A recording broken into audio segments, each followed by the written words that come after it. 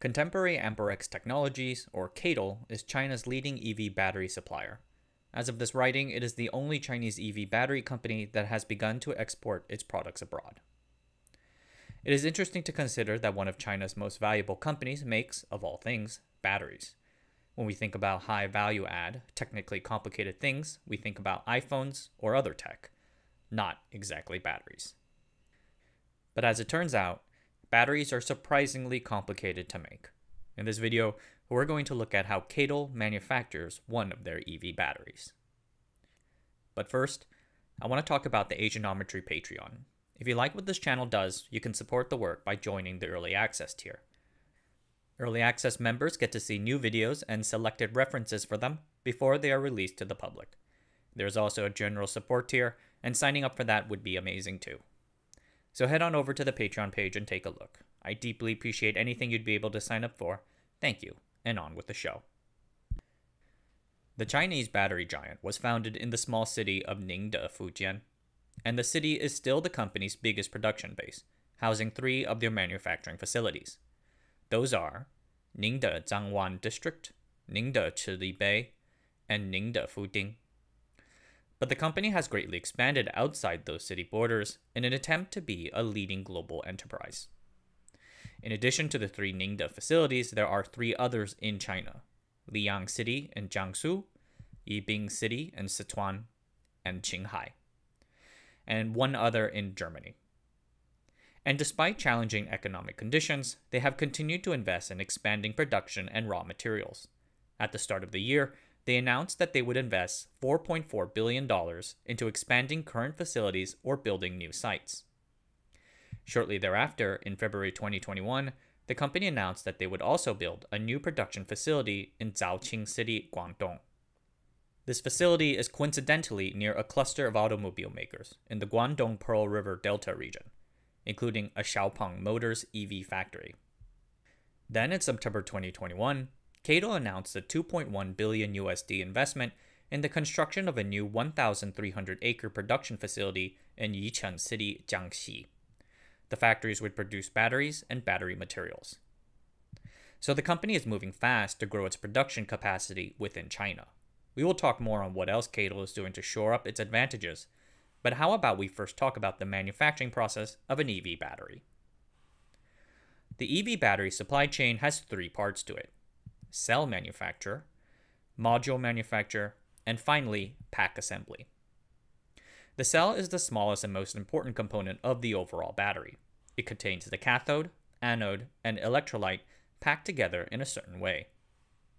Multiple cells are then packed together into a module.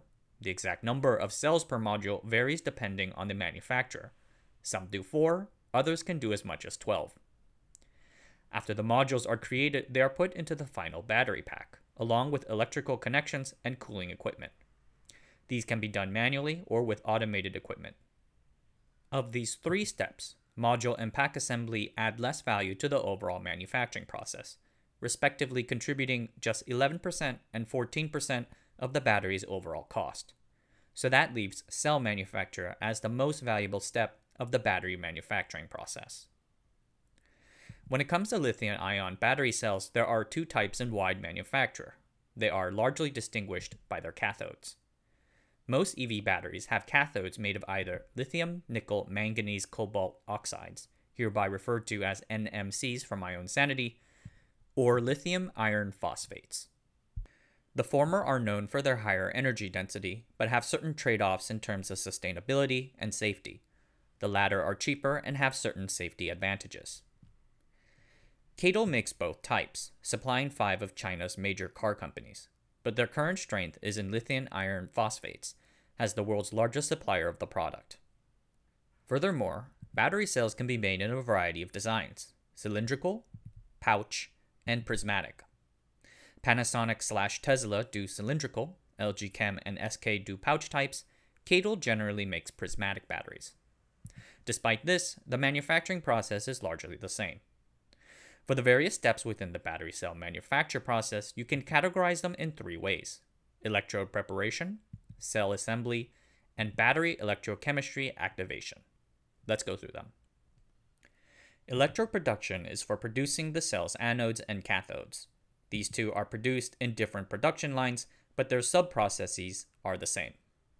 For each electrode, we mix the electrode's components, called the active material, with a polymer binder, solvent, and a conductive additive into a mixer.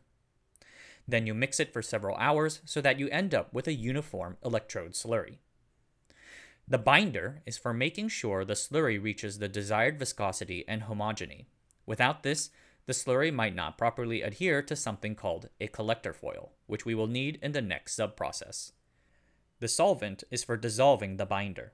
For anodes, simple water can be used for the solvent, but for cathodes, a common organic solvent like N-methylpyrrolidone or NMP is used.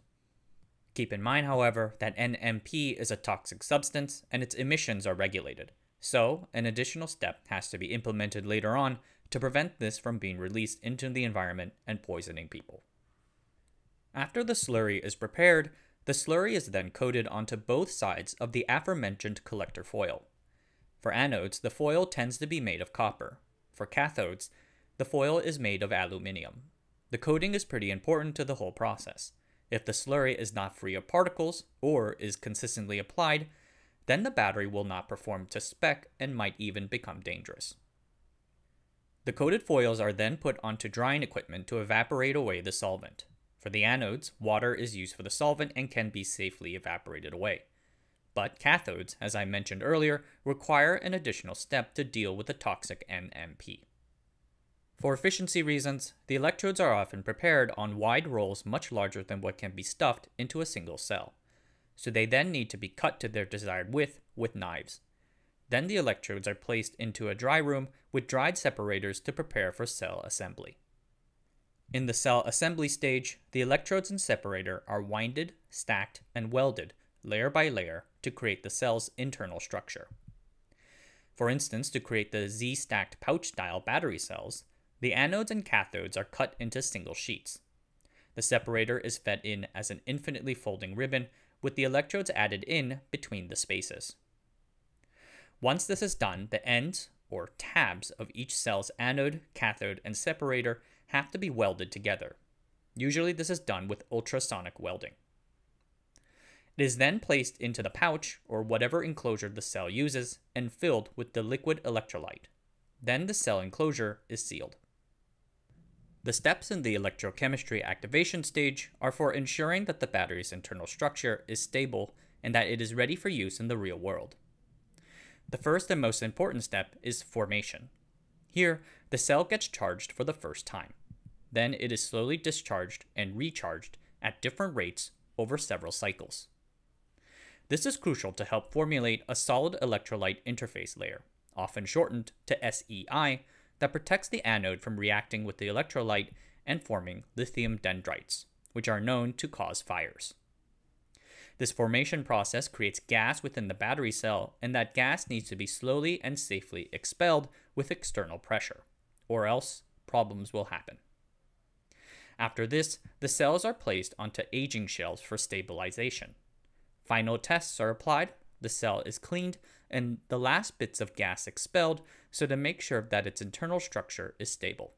After this, the cell is ready to go out for installation into modules and packs. CATL is pushing so hard to expand its footprint because there are significant scaling advantages on the cost side. Battery manufacturing has many different process steps, and that presents its challenge. Not all of the steps can cycle through their workflow as fast as the others.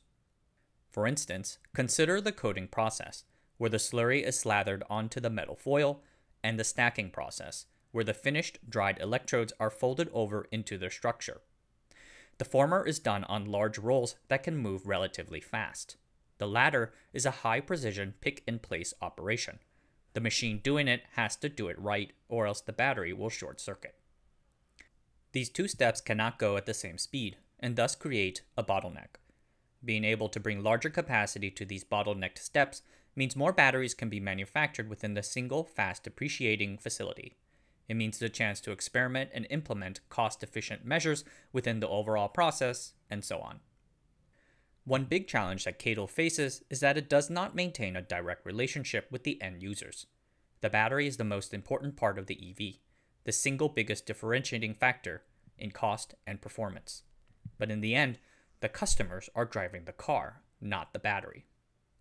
EV makers know this, and many of them also know that their product's core differentiation is dependent on a foreign third party.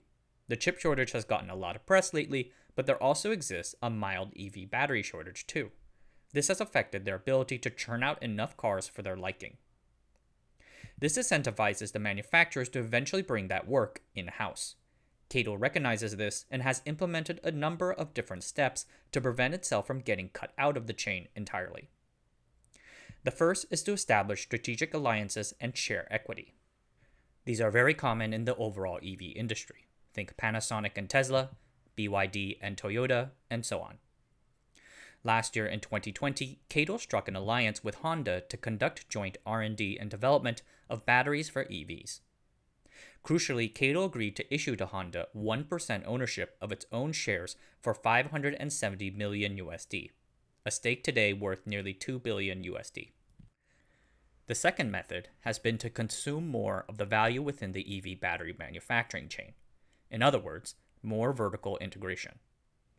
This way, they can offer a more complete, and thus locked in, solution to their end users. This seems to be extending beyond the work done with modules and battery packs. One interesting item announced at the same time of the Yichun City investment that went under the radar was that CATL is working alongside a variety of Chinese technology companies to found a joint venture called Suzhou times Xin'an Energy Technology. CATL owns majority share of this JV with 54%, so they are leading the effort. Its goal would be to develop new EV drive control systems. The drive system is one of the most important parts of the entire EV. It is made up of the EV battery, motor, transmission, and power electronics. This is the engineering heart of the system. Foxconn is doing something similar, building an EV platform open to manufacturers to use for their own cars. I have written about their efforts in a previous newsletter email, worth checking out if you're interested. CATL being able to offer its end users not just the EV battery pack, but the entire EV drive system would be a massive value add. Another critical thing that CATL has been doing in order to shore up its manufacturing and cost advantages has been to secure the best and cheapest supply of raw chemical goods for its batteries. The raw materials making up the battery, particularly the cathode, are critical to its performance and final cost. It is generally estimated that the cathode's active materials make up over 30% of its final cost. Furthermore, they are not exactly super plentiful, so the company has worked on securing reliable, low cost supply for these rare goods. Remember that lithium battery base in Yichun City, Jiangxi, from earlier in the video? Yichun City is known for its rich reserves of lepidolite, a lithium bearing material. The area is sometimes referred to as the lithium capital of Asia. The company has also made direct investments in companies and mines to secure its raw goods supply. For instance, to guarantee its supplies of lithium, CATL owns 25% equity share in Tianqi Lithium of Sichuan, along with direct investments in lithium mines in Canada, Australia, and the United States. The company guaranteeing its position as the lowest cost supplier will make it so that end users have to use them, even if it is strategically unwise, like the TSMC of EV batteries. CATL's success has enriched many. Today, the company is one of China's most valuable companies with a market cap of 180 billion USD on the Shenzhen Stock Exchange. Robin Zeng, its founder, is now one of Hong Kong's richest men. But the company faces fierce competition from old foes like BYD, from customers who might be competitors like BMW and Audi, from well funded foreigners like Panasonic and LG Chem, and from fast rising up and comers like Guoxuan High Tech, China's number three EV battery maker. CATL is doing its best to fight them all off. They are pushing up capacity to flood the market, signing raw material deals to secure the cheapest supply, and conducting R&D in things like sodium ion batteries to keep from being disrupted out of the market. For now, these measures appear to be succeeding. We shall see if it will be enough and if they might remain the market leader in the years to come. Alright, that's it for tonight. Thanks for watching. If you enjoyed the video, consider subscribing. The feed will show you a bunch of other videos from this channel that might fit your interest. Want to send me an email? Drop me a line at john at asianometry.com. I love reading your emails. Introduce yourself, suggest a topic, or more. Until next time, I'll see you guys later.